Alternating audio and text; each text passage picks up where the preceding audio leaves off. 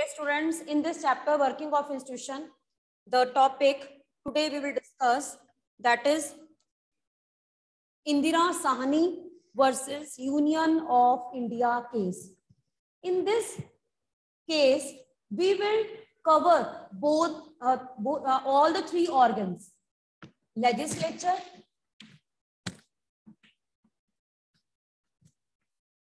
executive,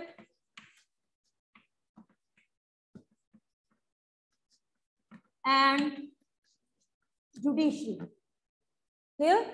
And uh, now from this case, you will be able to understand how the major policies decisions have been taken by the government, how these are implemented, and how judiciary use their judicial review power.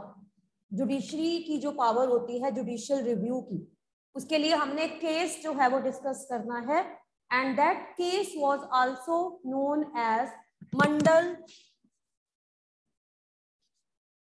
Commission. Related to Mandal Commission. Okay, so that is very important topic. First of all, you should know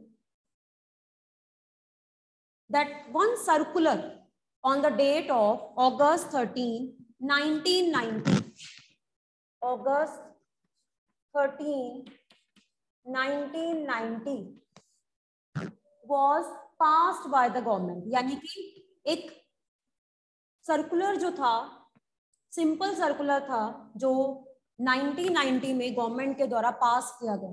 अब government जो है जब circular कोई भी पास करती है तो उसको बोलते हैं memorandum office memorandum you can see in your book like this this circular like this circular this was circular clear and ये जो सर्कुलर था बेटा this circular was passed by the government ये सर्कुलर जो है वो गवर्नमेंट के द्वारा पास किया गया ऑन विच डेट 13 अगस्त 1990 इसको कहा गया ऑफ़िस मेमोरेंडम क्या था ये ऑफ़िस मेमोरेंडम और, यानी कि इसके रिगार्डिंग जो भी डिसीज़न था, पहले बिल पास किया होगा लेजिस्लेचर में बिल पास किया, फिर एग्जीक्यूटिव यानी कि डिपार्टमेंट जो भी मिनिस्ट्री थी, उन्होंने इसको इम्प्लीमेंट किया होगा।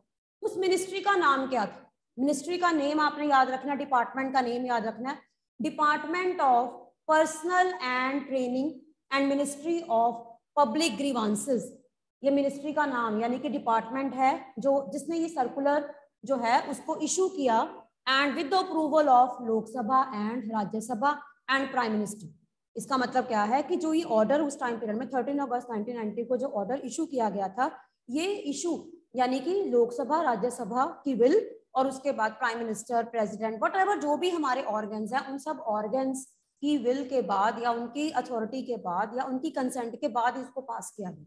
और डिपार्टमेंट ने इसको इशू किया। इशू करने का मतलब क्या होता है? इम्प्लीमेंट करना। जिस डेट से ये इम्प्लीमेंट हुआ। डेट कौन सी थी?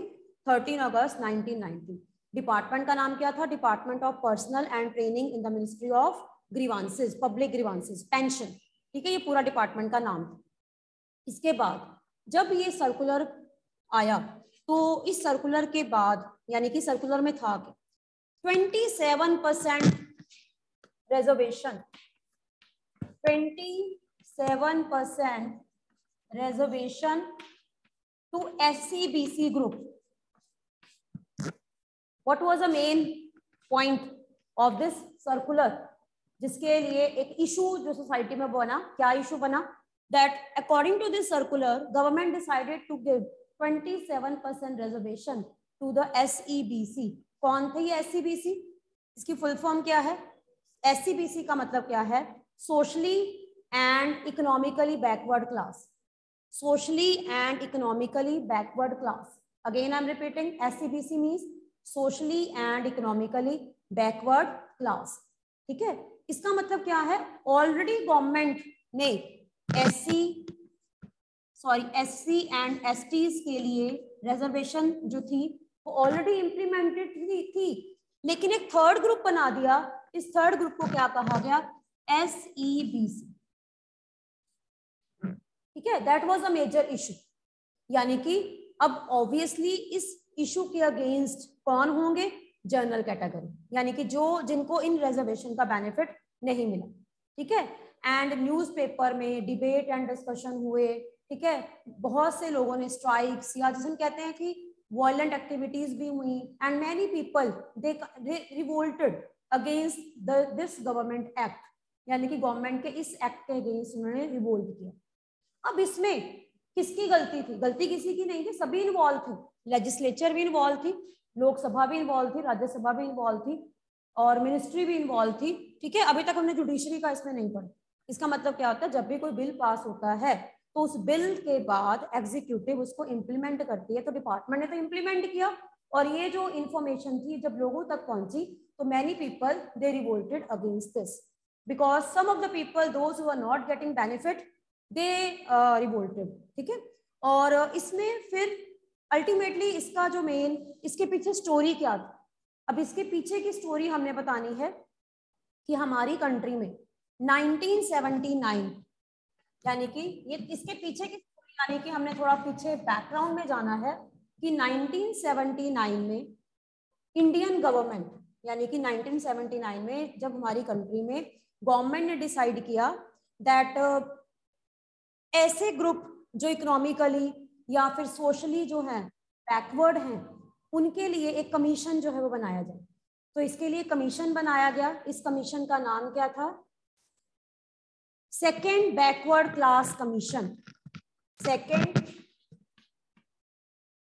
backward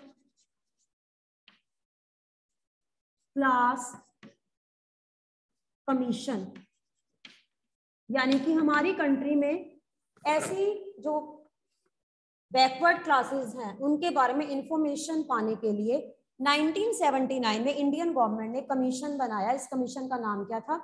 second backward class commission ठीक है? इस कमीशन के हेड कौन थे? Mister B P Mandal mister P P Mandal और उन्हीं के नाम के ऊपर इस कमीशन का नाम क्या रखा गया? मंडल कमीशन ठीक है? इन्हीं के नाम के ऊपर इनका नाम क्या रखा गया? इस कमीशन का मंडल कमीशन ठीक है? क्योंकि अब हम थोड़ा इसकी हिस्ट्री में जा रहे हैं कि ये जो इशू बना था, इस इशू के पीछे, यानी कि कितने साल पहले इस कमीशन ने रिपोर्ट दी थी? 1979 में इंडियन गवर्नमेंट ने कमीशन बनाया था। उस टाइम पीरियड में हमारी कंट्री में जो बैकवर्ड क्लासेस है, उनके बारे में इंफॉर्मेशन लेने के लिए। Second backward class commission second backward class commission का मतलब है एक ऐसा कमीशन जो बैकवर्ड क्लासेस के बारे में इंफॉर्मेशन कलेक्ट करे। और इस कमीशन के हेड कौन थे? मिस्टर बी पी मंडल ठीक है? और नाम हेड चेयरमैन के नाम के ऊपर ही कमीशन का नाम क्या पड़ा? मंडल कमीशन 1979 में कमीशन बना और एक साल लगा उनको पूरी कंट्री में अलग अलग कास्ट के बारे में इंफॉर्मेशन कलेक्ट करने में। कि हमारी कंट्री में कितने परसेंट लोग ऐसे हैं जो सोशली इकोनॉमिकली बैकवर्ड हैं। और उसके बाद इन्होंने अपनी रिपोर्ट कौन से ईयर में गवर्नमेंट को दी? कमीशन बनता ना, फिर कमीशन पूरा रिसर्च करता है और अपनी रिपोर्ट फिर गवर्नमेंट को देता है। तो in the 1980 they gave report 1980 में उन्होंने अपनी रिपोर्ट दी कि मंडल कमीशन ने अपनी रिपोर्ट दी कि ये हमारे कंट्री की प्रॉब्लम है तो ये रिकमेंडेशंस है। अगर लोगों को, यानी कि जो S C B C classes हैं एस सी तो है ही है एस भी हैं, एक और क्लास है एससीबीसी अगर इनको 27 परसेंट रिजर्वेशन मिल जाए, ठीक है तो काफ़ी हद तक इनकी डेवलपमेंट पॉसिबल हो सकती है। That was the one of the recommendation of that commission यानी कि मंडल कमीशन ने जो रिकमेंडेशन दी थी, उसमें से ये एक, जिसे हम कहते हैं कि एक उनका सजेशन था, एक सुझाव था कंट्री के लिए, ठीक है। अब 1980 में उन्होंने रिपोर्ट दे दी, लेकिन उस टाइम पीरियड में जो करंट गवर्नमेंट थी 1980 में जो करंट गवर्नमेंट थी, ठीक है उस गवर्नमेंट ने इन इम्प्लीमेंट्स यानी कि जो भी इनकी रिपोर्ट्स थी, इनको डिस्कस किया, लेकिन इसको फॉलो नहीं किया। यानी कि जो भी अब ज़रूरी नहीं होता कि गवर्नमेंट उसको, अगर इन्होंने रिकमेंडेशन दी हैं तो गवर्नमेंट इसको फुलफिल करे। ठीक है? जब कमीशन ने अपनी रिपोर्ट दी, और उसमें से एक क्या था? 27 percent of the government jobs यानी कि 27 परसेंट जो गवर्नमेंट जॉब्स है रिजर्वेशन है, वो किनको दी जानी चाहिए? Socially and educationally backward classes लेकिन इनको डिस्कस किया गया पार्लियामेंट में, लेकिन उस टाइम पीरियड में गवर्नमेंट ने इसकी तरफ़ कोई भी ध्यान नहीं दिया, जो उस टाइम पीरियड में गवर्नमेंट फिर कितने इयर्स के बाद, यानी कि 1989 1989 में आए लोकसभा इलेक्शंस लोक सभा इलेक्शंस अब देखो इलेक्शंस में, किस तरह से लोकसभा इलेक्शंस में इस इशू को फिर से उठाया गया। ठीक है? लोकसभा इलेक्शन अब मैं फिर से ईयर्स याद रखो, ठीक है? 1979 में मंडल कमीशन बना सेकंड बैकवर्ड क्लास कमीशन इनके हेड कौन थे? मिस्टर बीपी बंडल उसके बाद इन्होंने एक साल लगा उनको सारी की सारी जो इंफॉर्मेशन कलेक्ट करने में। And in 1980 they submit their report to the Indian government and one of their recommendation was that 27 percent government jobs seats should be reserve for socially and educationally backward classes ठीक है? लेकिन 1980 से लेकर 1989 तक इनकी recommendations को implement नहीं किया गया, ठीक है? और फिर आए इलेक्शंस 1989 लोकसभा इलेक्शंस अब जो 1989 में लोकसभा इलेक्शंस आए, इन लोकसभा इलेक्शंस में एक पार्टी, यानी कि लोकदल लोकदल पार्टी ने लोगों को प्रॉमिस किया, ठीक है? क्या प्रॉमिस किया कि if people they will vote for their party they will implement this reservation system यानी कि उन्होंने क्या क्या कहा कि अगर आप हमारी पार्टी को वोट करोगे, कौन सी पार्टी? जनता दल पार्टी। जनता दल। पार्टी का नाम क्या था? जनता दल। इलेक्शंस 1989 के इलेक्शंस लोकसभा इलेक्शंस में जनता पार्टी, यानी कि जनता दल पार्टी जो थी, और इनके लीडर कौन थे? Mister V P Singh mister Vishwanath Pratap Singh at that time he was the leader of this Janata Dal party Again, I'm repeating the name, Mr. Vishwanath Pratap Singh. Mr. VP Singh was the leader of this party. The name of the party was Janta Dal. And he promised in his manifesto, manifesto क्या होता है जो उनकी party की policies होती है कि अगर उनकी पार्टी को वोट किया जाएगा they will implement the policies of recommendations of Mandal commission. ठीक है? और आप ये देखो कि कांग्रेस पार्टी की बजाय लोगों ने जनता दल को वोट किया उस पर्टिकुलर टाइम पर। इससे पहले किसकी गवर्नमेंट थी? कांग्रेस पार्टी एंड 1989 में लोग Janata Dal this party became the majority party won with the maximum number of votes and prime minister कौन बने? मिस्टर वीपी सिंह कौन से इलेक्शन में? प्राइम मिनिस्टर एंड उनकी मेजर पॉलिसी क्या थी? उनके मैनिफेस्टो का पार्ट क्या था? That if they will be given chance then they will implement all the recommendation of Mandal commission and they won with the highest number of votes and majority government they form and he became the prime minister prime minister बने. ठीक है? और जब वो prime minister बने, सबसे पहला decision उनका क्या था? 89 आपको देखो कि 1989 में इलेक्शंस हुए। और उसके बाद उन्होंने, जैसे हम कहते हैं कि जो उनका मैनिफेस्टो का पार्ट था, उसको उन्होंने इंप्लीमेंट करना था, ठीक है? और फिर उन्होंने क्या किया? जो भी उनकी रिकमेंडेशन थी, मंडल कमीशन की रिकमेंडेशन को, क्योंकि तो मेजोरिटी पार्टी थी तो बिल पास करवाया, लोकसभा में बिल गया, राज्यसभा में बिल गया, और उसके बाद प्रेसिडेंट से अप्रूवल भी हो गई, ठीक है? और उसके बाद इंपॉर्टेंट डेट सिक्स अगस्त इसमें एक इंपॉर्टेंट डेट याद रखो अगस्त 1990 को डिसीज़न ले लिया गया कैबिनेट डिसीज़न कैबिनेट डिसीज़न का मतलब होता है कैबिनेट ने भी डिसीज़न पास कर दी यानी कि गवर्नमेंट हर तरफ़ से तैयार थी इस पॉलिसी को इंप्लीमेंट करने के लिए। एंड फाइनली ये पॉलिसी इंप्लीमेंट कौन सी इंपॉर्टेंट डेट को हुई? अगस्त थर्टीन 1990 ठीक है? और न्यूज़पेपर में आ गया। ठीक है? जो भी गवर्नमेंट की पॉलिसीज़ थी टेलीविज़न में। ठीक है? Each and every places the discussion was regarding this policies and this recommendations ठीक है, अब आप खुद देखो कि जब अगस्त 13 1990 को, ठीक है गवर्नमेंट का डिसीज़न जब लोगों को पता लगा तो प्रोटेस्ट स्टार्ट हुआ कंट्री में, हर तरफ़ डिस्प्यूट्स और प्रोटेस्ट स्टार्ट हो गए। Some people were favour and some people were in against तो इसमें क्या किया अलग अलग लोगों ने क्या किया केसेस फ़ाइल करने शुरू कर दिए। कुछ लोगों ने, यानी कि जो इस मतलब कैटेगरी में नहीं आते थे ठीक है, जिनको भी प्रॉब्लम थी इस सिस्टम से रिलेटेड उन्होंने केसेस को फ़ाइल करना शुरू कर दिया और सुप्रीम कोर्ट के पास नंबर ऑफ़ केसेस आए, तब आता है रोल किसका? जुडिशरी का। अभी तक तो किसका रोल था? लेजिस्लेचर का, लोकसभा एंड राज्यसभा का। इसके बाद फिर प्राइम मिनिस्टर प्राइम मिनिस्टर का इंपॉर्टेंट रोल आपने देखा मिस्टर बीपी सिंह ने कैसे पॉलिसी को पास करवाया इंप्लीमेंट करवाया। देन किसका important role judiciary supreme court और कितने ही केसेस सुप्रीम कोर्ट के पास आए हाई कोर्ट के पास आए? तो अब सारे केसेस एक ही पॉलिसी से रिलेटेड थे, ठीक है? तो इसके बाद फिर क्या हुआ? Supreme supreme court of India they bunch bunch का मतलब होता है सारे केसेस को कंबाइन कर दिया they bunch all the cases उन्होंने क्या किया? सारे केसेस को कंबाइन कर दिया। अंडर द नेम ऑफ़ इसमें अब केस का नाम क्या है? Indira Sawhney versus Union of India case Indira Sawhney मतलब एक नेम था जो लोगों को रिप्रेजेंट करता था, जो अगेंस्ट थे। पीपल हु वर अगेंस्ट जो इनको लीड कर रहे थे, इंदिरा सानी। एंड दूसरी तरफ़ यूनियन ऑफ़ इंडिया गवर्नमेंट के अगेंस्ट केस किया। ठीक है? लोगों ने गवर्नमेंट के अगेंस्ट किया कि गवर्नमेंट ने ये जो पॉलिसी इंप्लीमेंट की है that is not fair some were against who were against ठीक है? एंड uh, उन उनको जो है उनका केस कौन कर रहे थे? इंदिरा सानी। तो Indira Sawhney versus Union of India किसके अगेंस्ट कर रहे थे? गवर्नमेंट के अगेंस्ट कि गवर्नमेंट ने ये जो भी लॉ पास किया है या जो भी पॉलिसी बनाई है तो they are not you can say admitting और इस तरह से ये केस जो है इसको केस को क्या कहते हैं? Indira Sawhney versus Union of India case ये केस जो था वो इतना ज़्यादा कंट्री में इसको डिबेट एंड डिस्कशन किया गया। तो इसके लिए फिर जुडिशरी यानी कि केसेस बहुत ज़्यादा थे, ठीक है?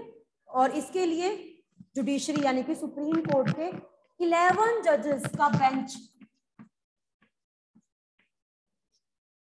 11 जजेस बेंच का मतलब क्या होता है? इकट्ठे जजेस ने मिलकर अलग अलग केसेस के ऊपर डिस्कशन की, ठीक है? हियरिंग्स यानी कि जो जो भी केसेस की हियरिंग्स होती थी, उनको सुना, ठीक है? और उसके बाद उन्होंने अपना डिसीज़न क्या दिया? डिसीज़न दिया that policy was valid valid decision यानी कि गवर्नमेंट ने जो पॉलिसी बनाई है that is valid that was the decision of supreme court ये सुप्रीम कोर्ट का डिसीज़न था कि पॉलिसी वाज वैलिड लेकिन उन्होंने अपनी पावर कौन सी पावर यूज़ की?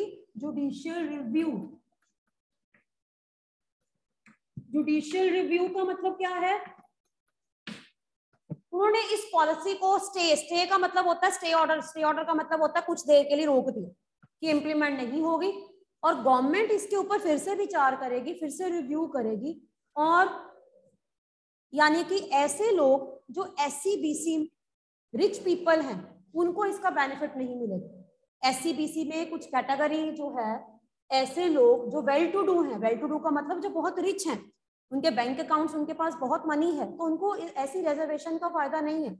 तो अल्टीमेटली गवर्नमेंट ने फिर इसको फिर से रिव्यू किया। रिव्यू का मतलब क्या होता है? यानी कि फिर से लोकसभा, राज्यसभा और गवर्नमेंट ने मिलकर इस पूरे की पूरी जो पॉलिसी थी, उसके ऊपर फिर से इसको रिव्यू किया और चेंजेस किए मॉडिफिकेशन की। मॉडिफिकेशन का मतलब क्या है? सुप्रीम कोर्ट ने क्या कहा उनको करने को? कि आप क्या करो? वेल टू डू पर्सन जो है वेल टू डू का मतलब होता है जो बहुत रिच पर्सन हैं एस सी क्लासेस के। उनको इसमें से एक्सक्लूड कर दिया जाए। एक्सक्लूड कर देना मतलब उनको ये बेनिफिट नहीं मिलेगा, सिर्फ़ उनको ही मिलेगा those who are very poor जो बहुत पुअर है। ठीक है? और अल्टीमेटली इस तरह से फिर डिपार्टमेंट यानी कि फिर से सेम लोकसभा लेजिस्लेचर और राज्यसभा में बहस हुई डिस्कशन हुई। एग्जीक्यूटिव यानी कि प्राइम मिनिस्टर और कैबिनेट्स की मीटिंग्स फिर से हुई। और सुप्रीम कोर्ट ने जो उनको चेंजेस करने को बोला था, उन्होंने उनको चेंजेस को किया। एंड फाइनली फिर एक और इंपॉर्टेंट डेट 8 सितंबर 1993 फिर से ये पॉलिसी जो है इंप्लीमेंट हुई मॉडिफिकेशंस के साथ। फिर एक और सर्कुलर आया। Department of personnel department of personnel जो डिपार्टमेंट मैंने बताया पर्सनल ट्रेनिंग जो मिनिस्ट्री थी, उन्होंने इसको फिर से इंप्लीमेंट किया on 8 September 1993 with the new modifications new modifications का मतलब क्या है? जो चेंजेस सुप्रीम कोर्ट ने उनको बोला था, वो उन्होंने किए। अब आप देखो, आपकी बुक में दो सर्कुलर हैं। ठीक है?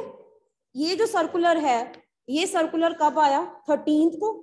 1990 ये सारा सर्कुलर इसको अच्छी तरह से रीड करना। उसके बाद सुप्रीम कोर्ट ने जब इस पॉलिसी को फिर से रिव्यू करने के लिए बोला तो सेकंड सेकंड सर्कुलर ये वाला ठीक है? ये वाला सर्कुलर नीचे वाला सर्कुलर जो। फिर से गवर्नमेंट ने इसको इसको नए सिरे से पास किया। तो ये क्या शो करता है? कि हमारी कंट्री में लेजिस्लेचर एग्जीक्यूटिव जुडिशरी तीनों ऑर्गन्स मिलकर किसी भी लॉ को पहले पास करते हैं, फिर उसके ऊपर डिस्कशन करते हैं, फिर एक डिपार्टमेंट होता है, उसको इम्प्लीमेंट करता है। ये न्यूज़पेपर यानी कि ये जो कटिंग्स हैं these have been taken from the newspaper cuttings यानी कि उस दिन की न्यूज़ है, जिस दिन ये पॉलिसी जो है डिसीज़न लिया गया होगा, और ये जो है, वो लोगों को इसकी इंफॉर्मेशन दी गई होगी अकॉर्डिंग टू दिस लेटर ठीक है? एक लेटर कौन सी है?